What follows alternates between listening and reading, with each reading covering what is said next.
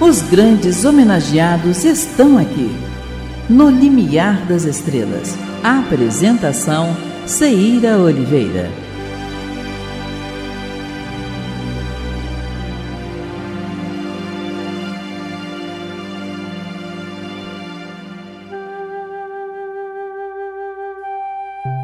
Alta de Souza.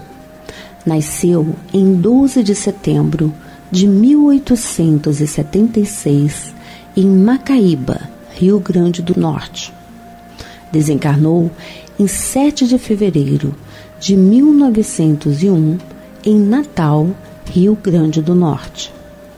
No portal Espiritismo Ativo, tomamos ciência que Alta de Souza era filha de Eloy Castriciano de Souza e de Dona Henriqueta Rodrigues de Souza, ambos tuberculosos.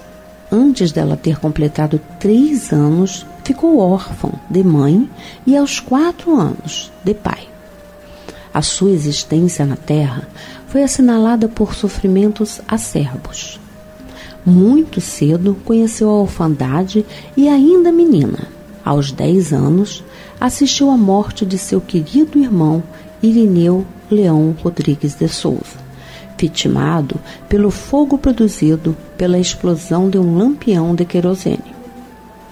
Alta de Souza e seus quatro irmãos foram criados em Recife, no velho sobrado do Arraial, na grande chácara pela avó materna Dona Silvana, Maria da Conceição de Paula Rodrigues, conhecida como Dindinha, e seu esposo Francisco de Paula Rodrigues, que desencarnou quando Alta tinha seis anos. Antes dos 12 anos, foi matriculada no Colégio São Vicente de Paula, no bairro da Estância, onde recebeu carinhosa acolhida por parte das religiosas francesas, que o dirigiam e lhe ofereceram primorosa educação. Aos 14 anos, ainda no educandário, manifestam-se os primeiros sintomas da enfermidade que lhe roubou em plena juventude o viço e foi a causa de seu desencarne. Os médicos nada puderam fazer e Dindinha retornou com todos para a terra natal. Foi sepultada no cemitério do Alecrim. Seus restos mortais foram transladados para o jazido da família, na igreja de Nossa Senhora da Conceição, em Macaíba, sua terra natal.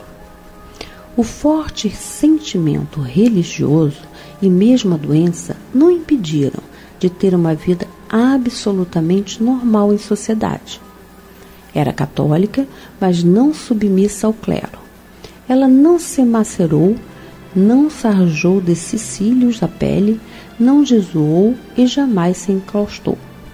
Era comunicativa, alegre e social. A religiosidade dela era profunda, sincera, medular, mas não astética, mortificante, mística. Seu amor por Jesus Cristo, ao anjo da guarda, não a distanciaram de todos os sonhos de, das donzelas: amor, lar, missão maternal. Com 16 anos, ao revelar o seu invulgar talento poético, apaixonou-se pelo jovem promotor público, João Leopoldo, com a duração apenas de um ano e poucos meses. Dotada de aguda sensibilidade e imaginação ardente, dedicava-se ao namorado amor profundo, mas a tuberculose progredia e seus irmãos convenceram-na a renunciar. A separação foi cruel, mas apenas para Alta. Essa sucessão de golpes dolorosos marcou profundamente sua alma de mulher. Era vista lindo para as crianças pobres, para humildes mulheres do povo ou velhos escravos. A orfandade da poetisa, ainda criança, o desencarne trágico de seu irmão, a moléstia contagiosa e a frustração do amor, esses quatro fatores a força e religiosidade de Alda levaram-na a compor uma obra poética singular na história da literatura brasileira. O sofrimento veio burilar a sua inata sensibilidade, que transbordou em versos comovidos. livre do corpo totalmente desgastado pela enfermidade, Alda, irradiando luz própria, lúcida e gloriosa, alçou voo em direção à espiritualidade maior. Mas a compaixão que sempre sentia pelos sofredores fez com que a poetisa, em companhia de outros espíritos caridosos, visitasse constantemente a crosta da terra.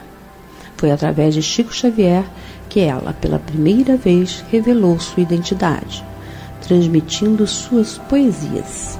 Por tudo isso, pela sua vida, Alta de Souza está no limiar das estrelas. Você ouviu pela Rádio Rio de Janeiro, No Limiar das Estrelas. Apresentação: Ceíra Oliveira.